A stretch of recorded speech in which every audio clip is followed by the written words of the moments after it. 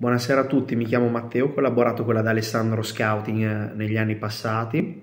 È stata un'agenzia che mi ha permesso di seguire vari campionati da osservatore, eh, sia giovanili che di prime squadre. Ho avuto l'opportunità di confrontarmi con allenatori, dirigenti, giocatori, responsabili, procuratori eh, nel, nel settore calcio e mm, confrontarmi anche con eh, altri ragazzi che hanno fatto il mio stesso tipo di percorso da osservatore per avere diverse idee nei vari campionati eh, che abbiamo seguito e confrontarli con, con i miei.